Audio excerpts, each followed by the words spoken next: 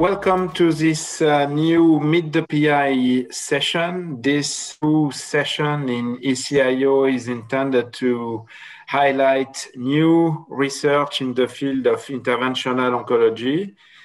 And today I have the chance to chair this session with uh, my dear colleagues, Philippe Pereira, and we welcome a young interventional radiologist from Strasbourg, who, has developed a new technique of treatment of desmoid tumors. So, doctor, how do we spell it? Gangi? That's it. Dr. Gangi, we are all yeah. yours for, for your talk.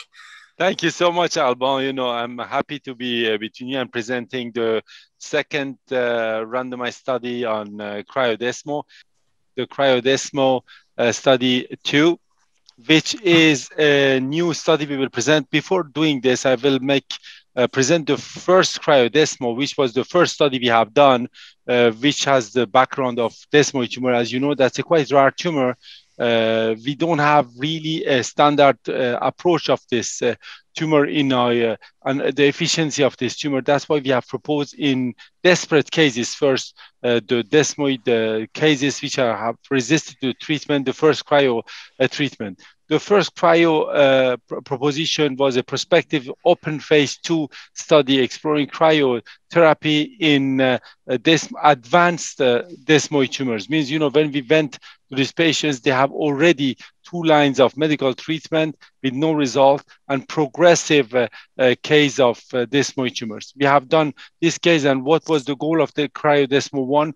It was to see if we can stabilize the tumor with cryotherapy. And the secondary uh, goal was pain, quality of life.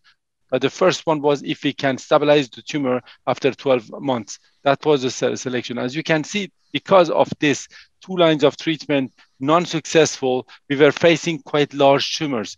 Uh, the largest diameter was near nine centimeters. That was making the study quite difficult.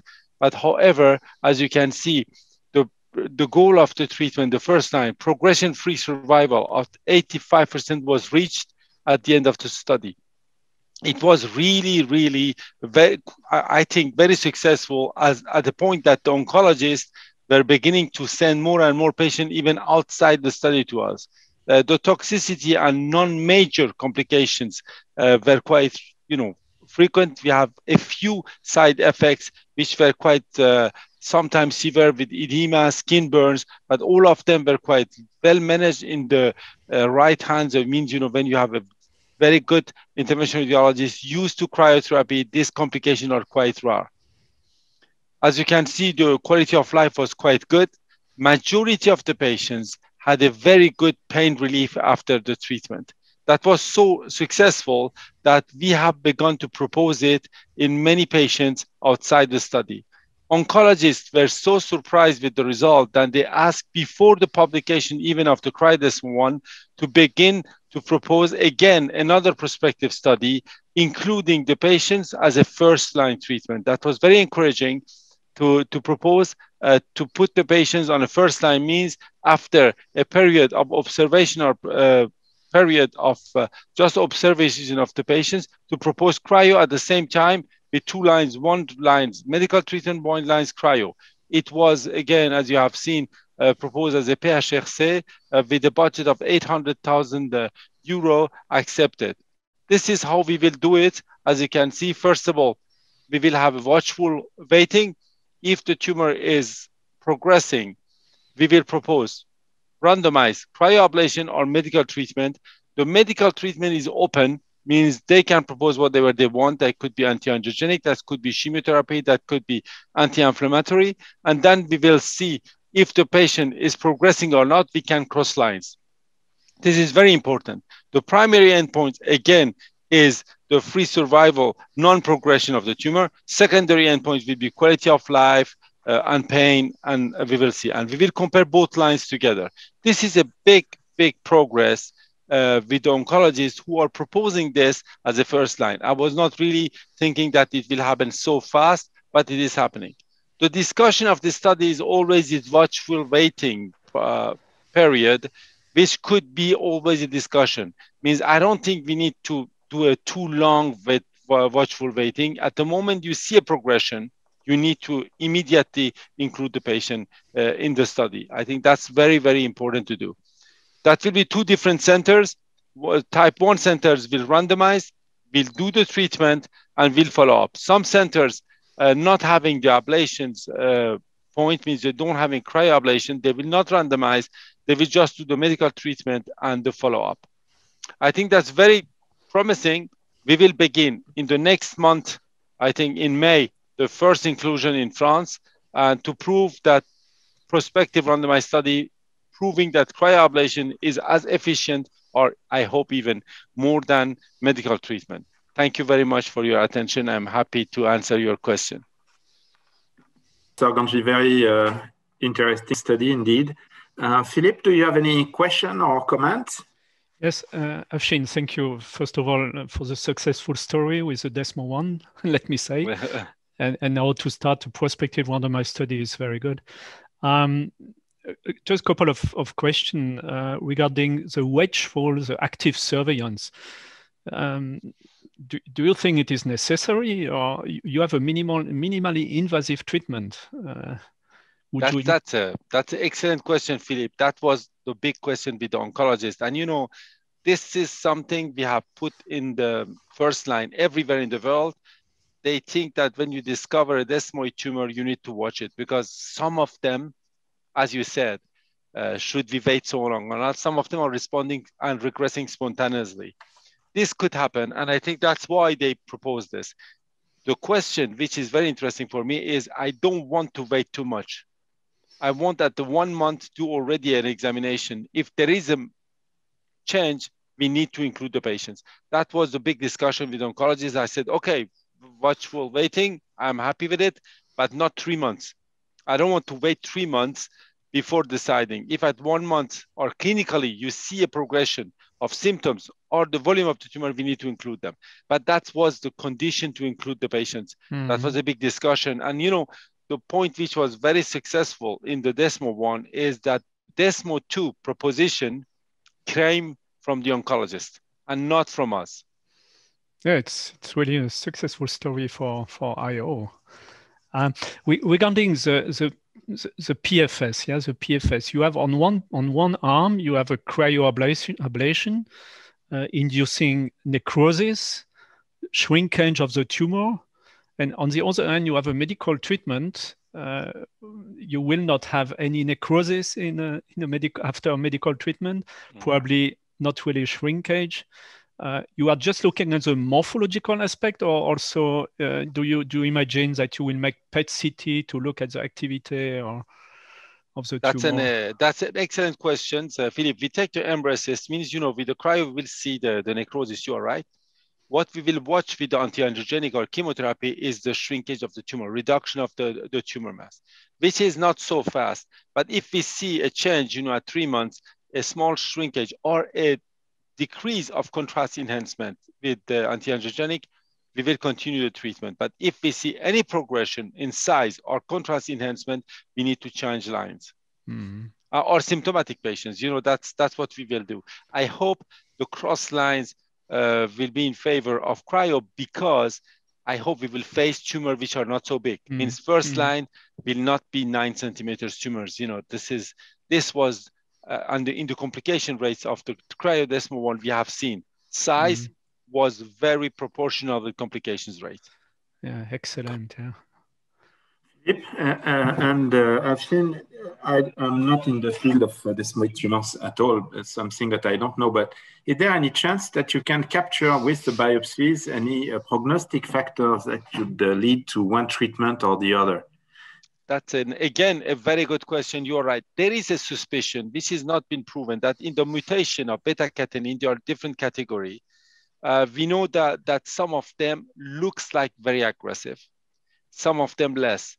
Uh, we hope that you know because with all we have done here with the cryodesmo one and cryodesmo two, that's the same. The histology and the genetic have been analyzed, and we want in the retrospective part to analyze if one of these genetic, if it's true that the F type is worse than the A or the others are not. But this is something we look at it, and it looked like it seems like, but there is no proof that some genetical mutations are worse than the others. Means we need to be more aggressive with them. But that would be that should be proven uh, retrospectively with all this genetic analysis you are doing. Mm-hmm. And I assume also that uh, your center is a referral center for, I would say, probably most of the east of France and probably further uh, out in Germany or in Belgium or whatever. But the numbers are, are quite big, eh? 150 desmoid tumors. So, how quickly do you think you will be able to recruit in that multi centric study? Uh, first of all, we can just include for the because that's a French, uh, you know, grant. We need to just to include people who are insured in France. That's the first one. Means you know all the other patients cannot be included. Uh, the second is 150 is a, a, large number of the patient, but because it's first line, it will not be like the first one. We have included 50 patients in less than one year. In less than one year, all centers have included the 50 uh, patients, which were second line resistance. We think as a first line discovery of the patient, we will have more patient which we can include. That's what we hope so. But you know, I think one or two years should be okay to include those patients. You will have also some from West and Germany, I presume. right. You know, the, the point is, you know, we hope so, but again, they should be insured in France because that's a French grant. Uh, they, they want us to treat French, not just French yeah. patient, but insured in France patient. They should have the Sécurité Sociale. Okay. Uh, okay. You had no time to go more in details of the study, but would you like also quality of life and, and symptom improvement because it's also maybe something that is advantageous for for interventional radiology? Yeah, that's uh, that's what we have proven in the in the cryodesmo one that I showed you that 85% of non-progression at one year, and what was very interesting in the first one was when at six months you don't have progression you don't see usually a progression after this. It means that six months, if you're happy, usually is a good result. And quality of life was even better. Near 90% of the patients were happy with their symptoms. Means, as you said, we have included this again okay. as a second line, as a quality of life and pain, uh, because this is even more impressive than a progression. And just one last question, uh, uh Afshin the, the, the, median size close to nine centimeter in the first study. Do you expect to, to collect smaller tumors? Do you think Absolutely. that small tumors are surgically resected still? No, I hope not. I hope not, you know, because I think in France particularly, uh, we are not operating anymore the desmoid tumors. I think there is accidental resection. Yes, they think that's a sarcoma or they think that's, uh, I don't know, another diagnostic, they can operate them. But usually uh, we push them to do the biopsy first, and it's very rare they operate the tumor. I think uh, it, it's quite accepted that uh, surgery should be just done when we have a mechanical problem or something like this. If not, it should be avoided. And we hope that we will get tumors less than five centimeters already uh, in all cases, nearly all. Uh, mm-hmm. I hope so because larger tumor have been discovered already. And as I said, the patient includable in this study should not have any previous treatment. Means they should not have been treated with anything else. My, my last question may be for regarding the financial support. It's interesting for every interventional radiologist uh, who are hearing us now. Uh, is that the financial support, is that a private uh, society no, or? Is a public it's absolutely 100% national uh, government uh, grant. That's why you know as i said you know including the patient should yeah. be in france. That's a national grant and they pay for all material part of it and all this uh, examination and the follow-up.